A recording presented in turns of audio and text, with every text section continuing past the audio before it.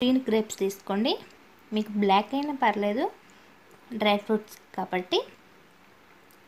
మంచి బాగా గ్రీన్ ఉన్నాయి కాకుండా కొంచెం లైట్ ఎల్లో కలర్లో ఉన్నవి గ్రేప్స్ తీసుకోండి. అవి కొంచెం స్వీట్గా ఉంటాయి కాబట్టి. ఇప్పుడు మనం ఇవి బాస్కెట్లోకి తీసేసుకుందాం.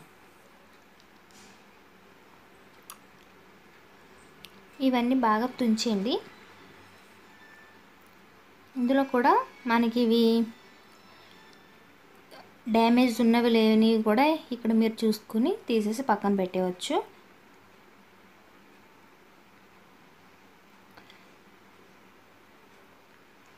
చూసారు కదా? డ్యామేజ్ ఉన్నవి.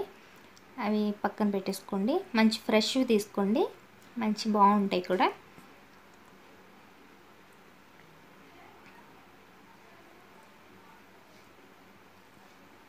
మనం బయట కొనుక్కున్న వాటికంటే ఇవి మరింత టేస్ట్ అనేవి మనకి ఇవి ఉంటాయి. ఇలా చేసుకోవడం కూడా మనకి సాటిస్ఫాక్షన్ అనేది కూడా ఉంటుంది. మనం ఓన్గా చేసుకున్నాం అనే ఫీలింగ్ ఒకటి మనకు ఉంటుంది కదా. దానికోసం మీరు ఇలా ట్రై చేయండి. బయటకున్న అవే కాస్ట్ ఇప్పుడు ఎలాగో తక్కువగా వస్తాయి కాబట్టి కొంచెం ఎంతైనా కొంచెం తక్కువ ఉండొచ్చు కాబట్టి గ్రేప్స్ ఇలాంటివి బాగా దొరికే టైంలోనే మనం ఇవి యూస్ చేసుకోవచ్చు. చూసారు కదా? ఈ కలర్లో ఉన్నవనుకో మంచి స్వీట్ అనేవి ఉంటాయి. సరే ఇప్పుడు మనం వీటిని వాష్ చేసుకోవచ్చు. బాగా వాష్ చేసేసుకోండి. చూసారు కదా? బాగా శుభ్రంగా కడుక్కోవాలి ఇక్కడే మనం. ఇలాంటి బాస్కెట్ అనుకో వాటర్ అనేది బాగా వెళ్తుంది కడగడానికి ఈజీగా ఉంటుంది. చూసారు కదా? బాగా కడిగిన తర్వాత ఇలాంటి వాటర్ అంతా కిందికి పోతుంది. సో తర్వాత మనం స్టవ్ వెలిగించుకొని ఒక గిన్నెని పెట్టుకోండి. ఆ గిన్నెలో సగం వాటర్ వేసుకోండి.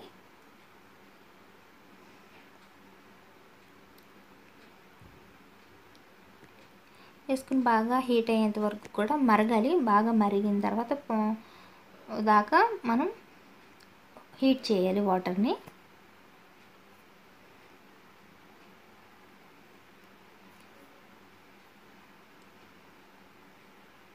చూసారు కదా బాగా హీట్ అయిపోయినాయి బాగా వేడిగా అయిపోయింది.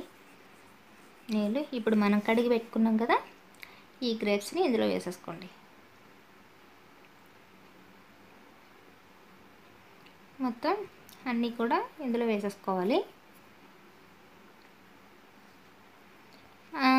ముందే మనం వాటర్తో పెట్టేసుకోవచ్చు కదా అని అనుకోవచ్చు.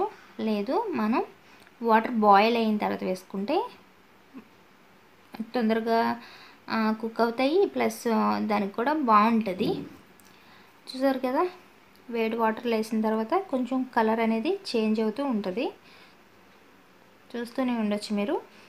ఇక్కడ కొంచెం కలర్ షేడ్ అయింది. ఒకసారి గరిటె పెట్టి కిందవి పైకి పైవి కిందికి వేస్తూ ఉండండి. మీ దగ్గర ఖాళీ గిన్నె ఉన్నా పర్లేదు అది పెట్టుకోండి. నా దగ్గర ఇదే ఉంది కాబట్టి ఇది పెట్టాను. చూసారు కదా? ఇవి కుక్ అయిపోయినాయి. ఈ కలర్లోకి రావాలి మనకి.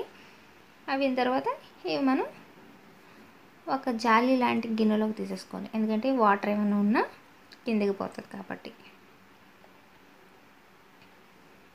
సో అన్నీ తీసేసాం.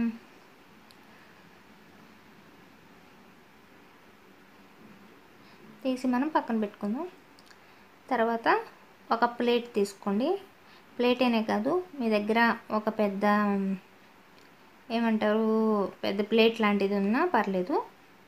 ముందుగా ఒక కాటన్ క్లాత్ వేసుకొని టవల్ ఉన్నా పర్లేదు మంచి మంచిది నీట్గా ఉన్నది వేసుకోండి.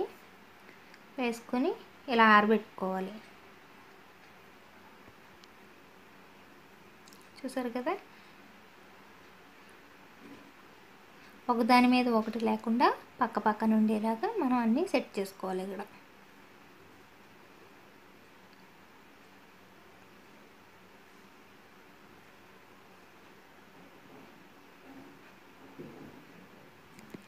చూసారుగా?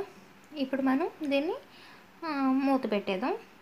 మనం అదే క్లాత్ని సగం దాని మీద వేసి సగం దీని మీద మూత కప్పేయాలి. ఇలాగ ఎండలో ఒక వన్ వీక్ వన్ వీక్ అవసరం లేదు. బాగా ఎండ్లు ఉన్నాయి కాబట్టి త్రీ ఫోర్ డేస్ అయితే సరిపోతుంది. దాన్ని అసలు ఫ్రై అయిన తర్వాత ఇలాగా అవుతాయి.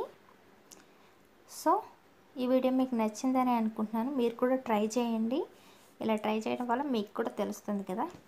సో లైక్ చేయండి షేర్ చేయండి. నా ఛానల్ని సబ్స్క్రైబ్ చేసుకోవడం మర్చిపోకండి.